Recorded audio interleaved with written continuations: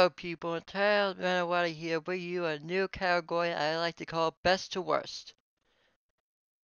Sounds like a list based on my opinion, right? Close. It lists what is objectively the best to worst, and I give my thoughts on them. Today's category is the best to worst Nintendo home consoles. This should be easy to follow along if you have the internet. Link to the best selling consoles will be in the card. Now, if that way, let's start with the best. The G, slash Y slash Wii, is a home video game console developed and marketed by Nintendo. It was first released on November 19, 2006 in North America and in December 2006 for most other regions. It is Nintendo's fifth major home game console, following the GameCube, and is a seventh generation home console alongside Microsoft's Xbox 360 and Sony's PlayStation 3. In my opinion, it's one of the best shut up and take my money deals I had the experience with. Granted, the motion controls were easy to overpower the player, but not all of them had any good responses. But you know, it helps to bring family together. The best of the best. My favorite games were Twilight Princess and Red Steel 2. Skyward Sword is an okay game in the gameplay department, but it had the beginning lore there's also Super Mario Galaxy 1 and 2 and Donkey Kong Country Returns. Not much I could say. The Nintendo Switch H is a video game console developed by Nintendo and released worldwide in most regions on March 3, 2017. The console itself is a tablet that can either be docked for use as a home console or used as a portable device, making it a hybrid console. Its wireless Joy-Con controllers, with standard buttons and directional analog sticks for user input, motion sensing, and tactile feedback, can attach to both sides of the console to support handheld style play. They can also connect to a grip accessory to provide a traditional home console gamepad form, or be used individually in the hand like the Wii Remote and Nunchuk, supporting local multiplayer modes. The Nintendo Switch's software supports online gaming through internet connectivity, as well as local wireless ad hoc connectivity with other consoles. Nintendo Switch games and software are available on both physical flash-based ROM cartridges and digital distribution via Nintendo eShop. The system has no region lockout. A handheld-focused revision of the system, called the Nintendo Switch Lite, was released on September 20, 2019. The still one console that is coming close to be the best console of all time. There are a lot of features put into this console. A lot of accessories are used and the best games to find on the Switch. Nintendo is like for their mistakes on the Wii U people have issues with the Joy-Cons, in which I have to say, take it easy on the gameplay. It's not meant to be played in a marathon.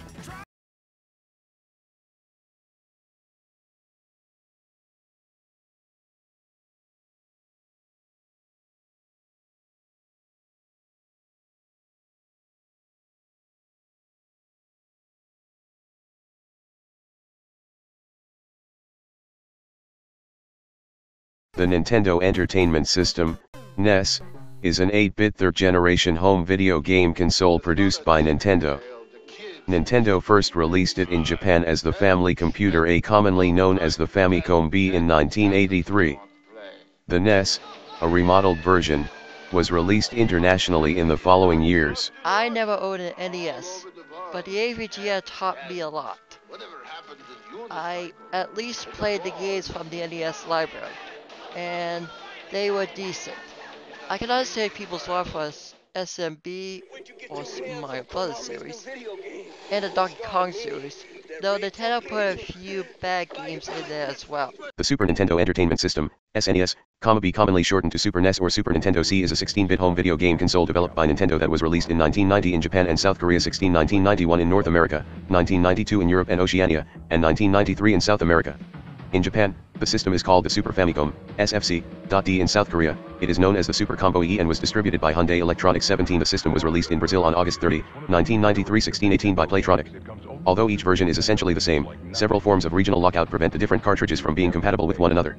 Never had the console, but I played the games. It is not as successful as the NES, but it did have better graphics for the most part. If you just prefer using the face buttons and the shoulder buttons and the trigger buttons for the Switch, then it's up in your alley. The only 32-bit games are Star Fox, Star Fox 2, and a racing game. A lot of games I could play if they weren't so The Nintendo 64A, abbreviated as N64, stylized as Nintendo 64, is a home video game console developed and marketed by Nintendo.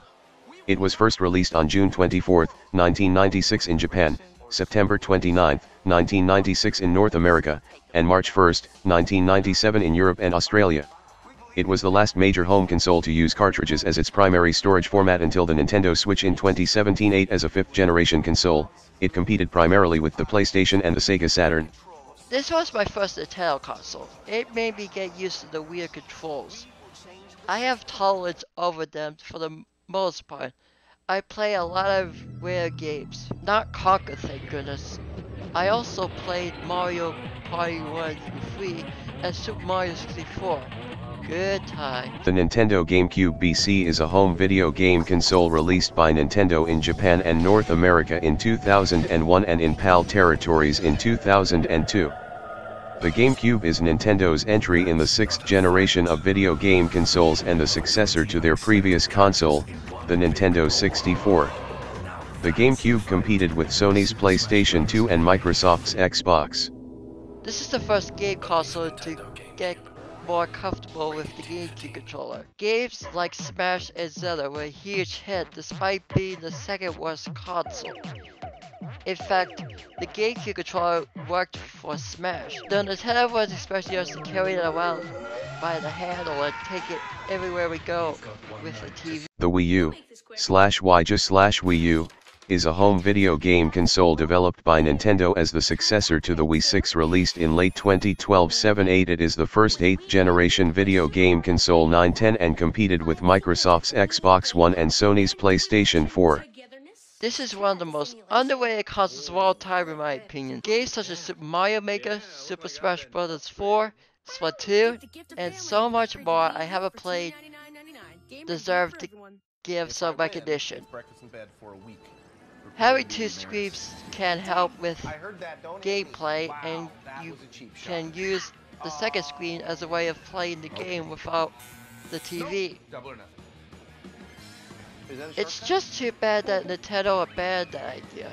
It is bullshit. And that is my overall opinion on the best to worst. Be sure to like, comment, share the video, subscribe, and click on the bell to get notified for more of my work. Also, be sure to follow me on my Twitters, Tumblr, Reddit, Dailymotion, TikTok, Instagram, Vimeo, Discord, Facebook, Twitch, and go to my Weebly website. Be sure to support Josh on Patreon and Twitch for charity and to get the credit he deserves. Be sure to check out my playlist in the outro for previous works. Signing off.